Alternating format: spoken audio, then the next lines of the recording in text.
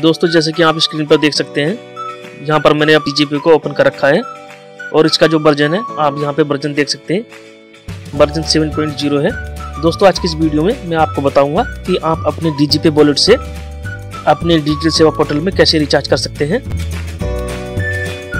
मैं यहाँ से पाँच सौ जो है डिजिटल सेवा पोर्टल में ट्रांसफ़र करूँगा। क्योंकि डिजिटल सेवा पोर्टल से जब भी कोई हम कार्य करते हैं तो वहाँ पर भी हमें पेमेंट काटना होता है। तो दोस्तों, आज की इस वीडियो को कंप्लीट वॉच करने के बाद आपको अच्छे से पता चल जाएगा कि आप अपने डीजीपी वॉलेट के द्वारा भी अपने डिजिटल सेवा पोर्टल को रिचार्ज कर सकते हैं। तो इस बैलेंस में से पाँच सौ का बैलेंस जो है हम डिजिटल सेवा पोर्टल में ट्रांसफ़र करेंगे। दोस्तों ट्रांसफ़र करने के लिए यहाँ पर आप देख सकते हैं वॉलेट टॉपअप यहाँ पे वॉलेट टॉपअप का एक ऑप्शन दिया गया है। सिंपली आपको यहाँ पर क्लिक कर देना है। अब यहाँ पर वी डिटेल्स के नीचे इतना पेमेंट आपको अपने डिजिटल सेवा पोर्टल में ट्रांसफ़र करना है। उस अमाउंट को आपको यहाँ पर एंटर कर देना है। दोस्तों, अपने डिजिटल सेवा पोर्टल में बैलेंस आप कम से कम यहाँ पर जो मिनिमम बैलेंस है, वो पाँच सौ रुपये आपको रखना ही होगा। पाँच सौ रुपये से कम का बैलेंस आप अपने डिजिटल सेवा पोर्टल में ट्रांसफ़र नहीं कर सकते हैं। ठीक है? आप 500 से ऊपर 600, 700, हज़ार जितना भी आप करना चाहें कर सकते हैं लेकिन 500 से नीचे अगर आपका बैलेंस है तो आप अपने डिजिटल सेव पोर्टल में डीजीपी के द्वारा रिचार्ज नहीं कर पाएँगे।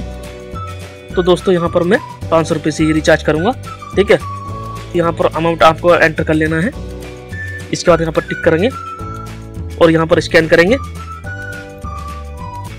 ठीक है अपनी फिंगर को फिंगरप्रिंट स्कैनर पर रख देना है। फिंगरप्रिंट सक्सेस होने के बाद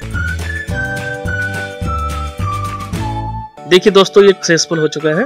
अब हमारे डिजिटल सेवा पोर्टल में ये पाँच सौ रुपये ऐड हो चुके हैं, ठीक है? तो दोस्तों, इस प्रकार आप अपने डीजीपी वॉलेट से भी बहुत आसानी से अपने डिजिटल सेवा पोर्टल को रिचार्ज कर सकते हैं बैलेंस ऐड कर सकते हैं। अगर आपके डीजीपी में इतना बैलेंस नहीं है तो दोस्तों, यहाँ से आप उस अकाउंट से भी आप यहाँ पर बैलेंस निकाल सकते हैं, जो कि आपकी सी एस से रजिस्टर्ड है।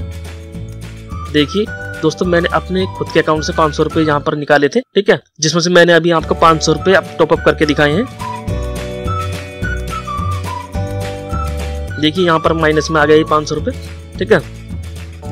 दोस्तों, ये जानकारी पसंद आई तो वीडियो को लाइक और शेयर करना ना भूलें। अगर आपको इस वीडियो को समझ में कोई भी प्रॉब्लम आती है तो कमेंट बॉक्स में लिख दीजिए। चलिए, जल्दी मिलता हूँ एक और नई जानकारी के साथ। धन्यवाद।